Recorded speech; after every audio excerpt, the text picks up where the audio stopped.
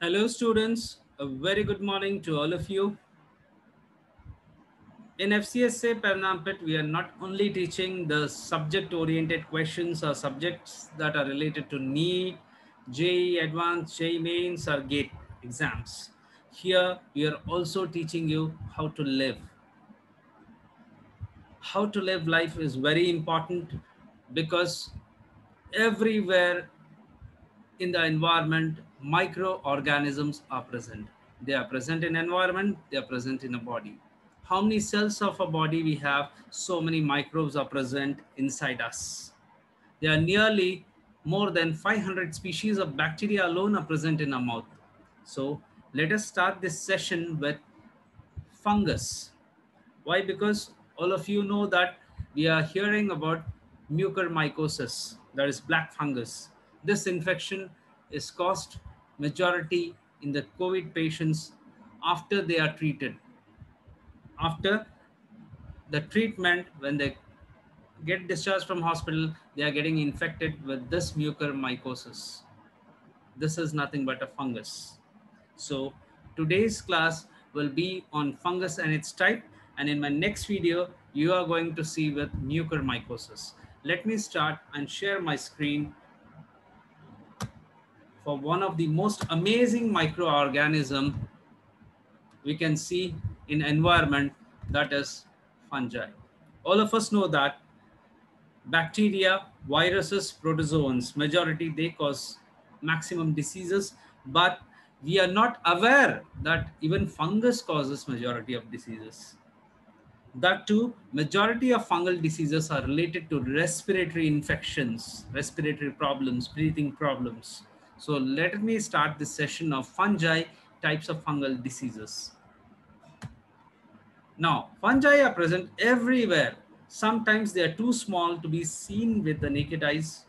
They live everywhere. You can see the picture where it is shown indoors, on surfaces, in the air.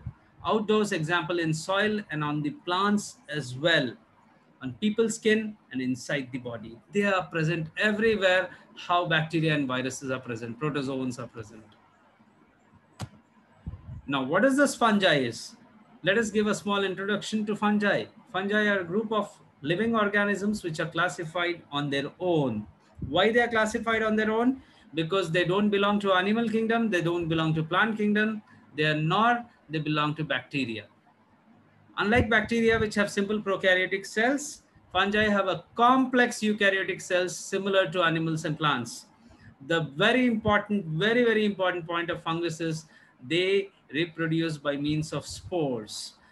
This fungus is present in the environment in form of spores, which enter inside the human beings and infect them or cause disease for them. Fungi is usually classified into four divisions. The first one, Chytridiomycota, that is chytrids. Second, Zygomycota, that is bread molds. Third, Ascomycota, that is yeast and sac fungi. And the last one, Basidiomycota, that is club fungi. Now, students, let us see some types of diseases, that is fungal diseases. The first one, aspergillosis. Aspergillosis is a disease caused by aspergillus, a common mold, a type of fungus that lives everywhere in the environment. Most people daily we breathe aspergillus spores every day without getting sick. But however, there is a very important condition. People with very weak immune system or a lung disease are at higher risk of developing health problems related to aspergillus. There are different types of aspergillosis. Some types are very mild, some types are very serious. Usually they cause fever, they cause cough, they cause cold, they even cause breathing problem. Such a dangerous disease is aspergillosis caused by one of the major fungus called aspergillus. Hence, the very important thing we have to see students is we have to keep our immune system very strong. Come on, let us see the second type of fungal disease. The second type is blastomycosis. Blastomycosis is an infection caused by a fungus called blastomyces. The fungus, as usual, it's present in all the environment, even particularly in moist soil, decomposing matters such as wood and leaves of the plants. people can get blastomycosis after again breathing in the fungal spores from air. Although most people who breathe in sport don't get sick, again, the same criteria, people with Im weak immune system, second thing, people who have less blood levels, they are going to be affected more with these funguses. What are the symptoms? Fever, cough, and the infection becomes serious if it is not treated. The third major fungal disease is candidiasis. It's infections of mouth, throat, and esophagus. Candidiasis is a fungal infection caused by a yeast called as candida. Some species of candida can cause infection in people. The most common is candida albicans. They normally live on the skin and inside the body of a person. Where they live inside the body? Mouth, throat, gut, and vagina without causing any problems. Whereas candida can cause infections if it grows out of control or it enters deep inside the body, that is bloodstream or in the internal organs of the body like kidney, heart, or brain. Again, the main reason less blood level or low blood composition in the body, then weak immune system. The fourth very important fungal disease is coccidioidomycosis. Coccidioidomycosis is famously known as valley fever, caused by the fungus cocci Coccidioides. The scientific name for valley fever is Coccidioidomycosis, and it's also sometimes called San Joaquin Valley fever or desert rheumatism. The term valley fever usually refers to coccidioides infection in the lungs, but the infection can spread to other parts of the body in severe cases. People again get this valley fever by breathing in microscopic fungal spores from air. Majority this disease is present in US, United States. Let us go to the next important fungal disease called histoplasmosis. Histoplasmosis is an infection caused by fungus called histoplasma. People can get histoplasmosis again by breathing inside the fungal spores from air. Although most people who breathe in spores don't get sick, but who do may have fever, cough, and fatigue, that is weak immune system. Many people who get histoplasmosis will get better on their own without medication, but in some people, such as, as I said earlier, who have weak immune system, the infection becomes very severe. The sixth one we see, mycetoma. Mycetoma is a disease caused by not only fungus, this is also caused by bacteria, which is present especially in soil and water, apart from whole environment. These bacteria and fungi may enter the body through any lesion or a small infection on the skin of a, or especially on person's foot. The resulting infection causes usually painless, but formation of masses under the skin takes place. It finally affects the underlying bone. The mycetoma can be caused by bacteria named actinomycetoma and fungus named eumycetoma. Mycetoma can cause severe physical disability that can force the people to stop working and cause stigma. The next very important fungal disease is pneumocystis.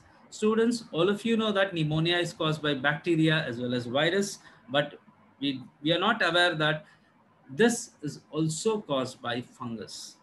Pneumocystis pneumonia, it is a serious infection caused by the fungus pneumonia cystis jirovecii. Actually, before this, scientists said that this is a protozoan which is caused pneumonia, pneumocystis. But apparently, after a lot of research and finally scientists said that pneumocystis, that is pneumocystis pneumonia is caused by fungus but not protozoans. Most people who get this disease have a medical condition, again, weak immune system that lowers the body's ability to fight the germs and sickness the symptoms, fever, cough, difficulty in breathing, chest pain, chills, and fatigue. The very common disease of fungus is ringworm. Ringworm is a common skin infection caused by a fungus. It's called ringworm because it causes a circular rash shaped like ring, usually red and itchy. Anyone can get ringworm. The fungi that cause this infection can live on skin surfaces on household items such as clothing, towel, and bedding. Ringworm goes by names, many names, tinea, dermatophytosis, depending on the location on the body it infects. Ringworm on the foot is called as athlete's foot. It's a very dangerous disease. If we are hygienic, we are following proper hygienic conditions, no one will get this fungus. Then we have another important fungus called uh, fungal disease called sporotrichosis. This is commonly known as rose gardener's disease because it this fungus is present in the thorns and the stem of the rose flower. It's an infection caused by fungus called Sporothrix. This fungus lives throughout the world in soil and on plant matter such as sphagnum moss, rose bushes, and hay. People get sporotrichosis by coming in contact with fungal spores in the environment. It causes lesions in hand, arm, and foot. It's a subcutaneous nodules, may ulcerate and discharge pus if injury caused by thorns of the rose. Finally, we are here with a very, very important and a dangerous fungal disease called mucormycosis. This is also called as black fungus. Is a life-threatening infection, result in blindness followed by death. It also affects to the brain directly. Mucormycosis, previously called as zygomycosis, is a serious but rare fungal infection caused by a group of moles called mucormycetes. These moles live throughout the environment. Mucormycosis mainly affects people who have health problems or they take the medicines that lower the body's ability to fight germs and sickness or weak immune system. It is most commonly affect the sinuses or the lungs after inhaling the fungal spores from air. Can also occur on the skin after a cut, burn, or other type of skin injury. It's very dangerous, students.